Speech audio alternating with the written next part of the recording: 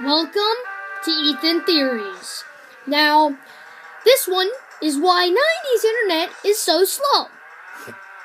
Well, according to people, 90s internet, the computers were very, very popular in the 90s, such as kids downloading uh, stuff, um, music, and pretty much lots of work and all the websites you could go on.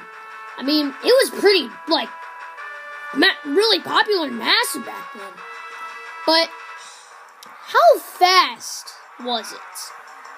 Well, according to Wikipedia, and according to the wiki, and according to some rumors, 90s internet was so slow because of dial-up internet.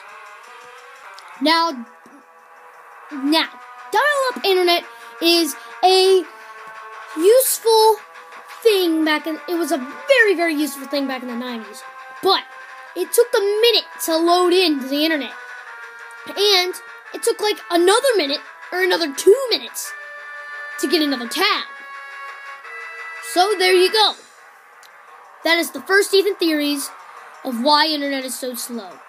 Thanks for watching and if you want to know what this music is it is the super mario 64 boss music. There you go. So, thanks for watching. Peace out!